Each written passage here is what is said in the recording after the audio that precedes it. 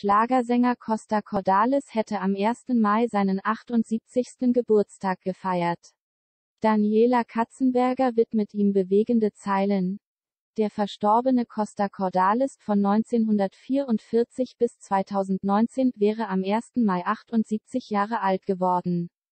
Seine Schwiegertochter Daniela Katzenberger, 35, und sein Sohn Lukas Cordalis, 54, erinnern mit emotionalen Worten auf Instagram an den Schlagersänger.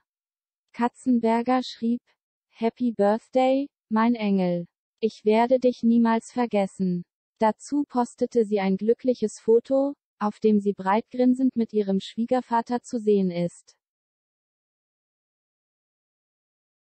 Lucas Cordalis entschied sich für ein Bild, das das Gesicht seines Vaters in Nahaufnahme zeigt. Happy Birthday, Papa, schrieb er schlicht und setzte ein schwarzes Herz-Emoji dazu. Im Kreise seiner Familie gestorben? Costa Cordalis verstarb am 2. Juli 2019 im Alter von 75 Jahren auf Mallorca im Kreise seiner Familie. Sohn Lukas ist seit 2016 mit TV-Star Daniela Katzenberger verheiratet. Die beiden haben die gemeinsame Tochter Sophia, die 2015 geboren wurde.